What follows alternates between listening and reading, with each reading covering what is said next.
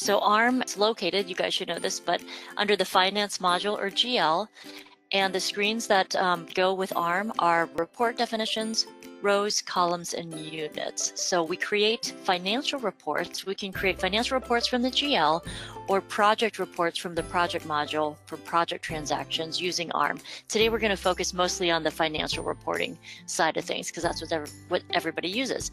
Um, so again, once you add these to your menu, you may see them under your financial statements here but to actually access them and um, create them, I'm going to focus on these four screens here and we'll talk about how you add them over here. So um, I'm clicking just on report definitions so I can see a list of all my reports out here.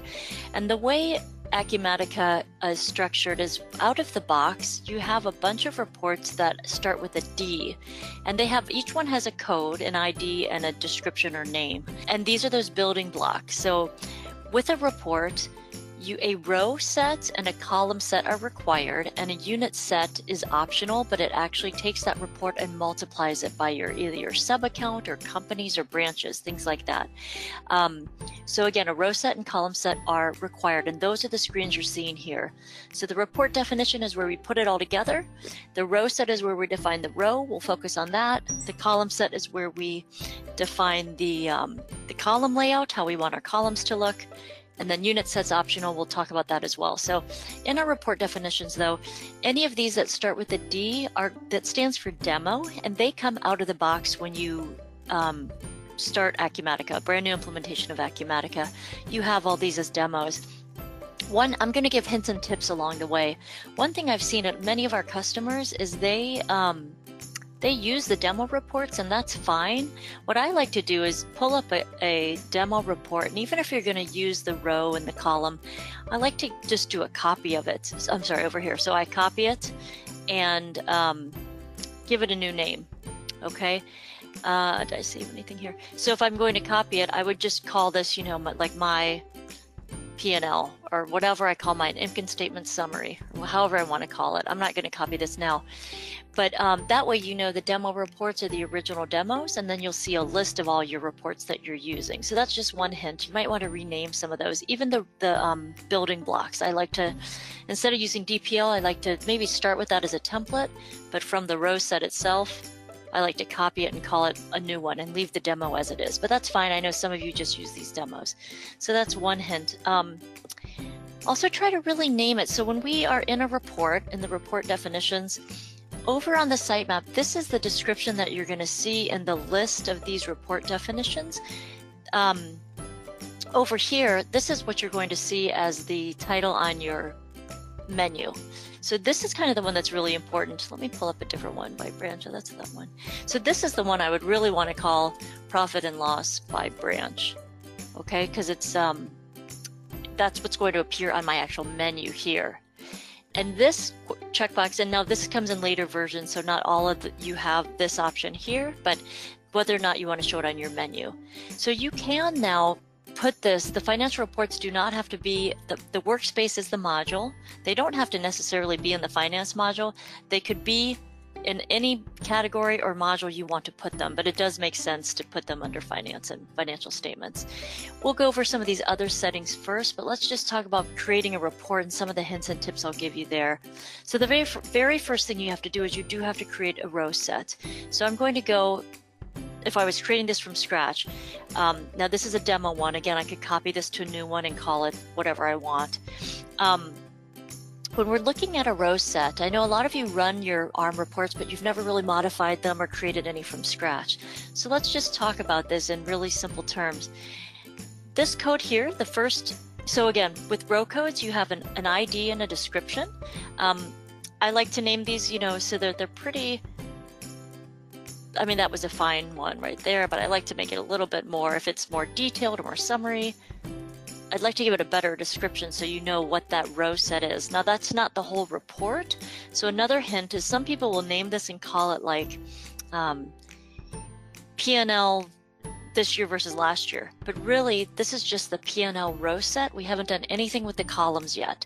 So you really want to name this specific to the row. And when you're naming your column sets, you want to name them very specific to what that column is. It doesn't have to be a P&L because you might share it between your P&L and your balance sheet, the column set. So just some hints there. This code going down the page, you have to number those yourself. So when you start with a brand new row set, it's blank. I'm to just do one real quick. Oh, I already have one. Let's do another new one and call it test TB. I know that's not there.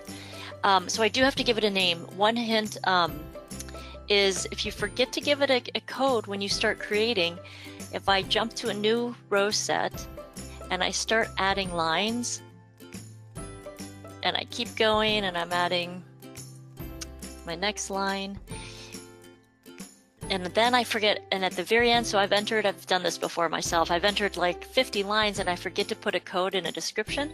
There's no way to copy this or to copy the lines into a new row set, so you'll lose everything. So just be sure the very first thing you do, if I go to put something in now, it's going to say everything's going to be discarded, anything unsaved, and I can't save it without putting in an ID. So I lose it. So I'm really stuck. So just that's just one little helpful hint. I'm going to start over, and now I can start adding my lines, and they'll save. Um, when I start a new row set, I really like to number these. I, I use a length of five and I increment them by 30. And the reason for that is say this is line one, this is line two, ah, line two. Um, if I have another, if I want to insert a line, I'll just do one more just to make it look a little bit more interesting. Oops, line three. Get my fingers on the right keys there. So I save this. So I'm, I'm starting to create my row set. Obviously, this would say revenue and everything, but to add a new line into a report, I cannot insert. There's no insert button right here. So if I want to add between line one and line two, I have to do this, add a row, and I have to say 00115 and then I can say line one and a half as an example.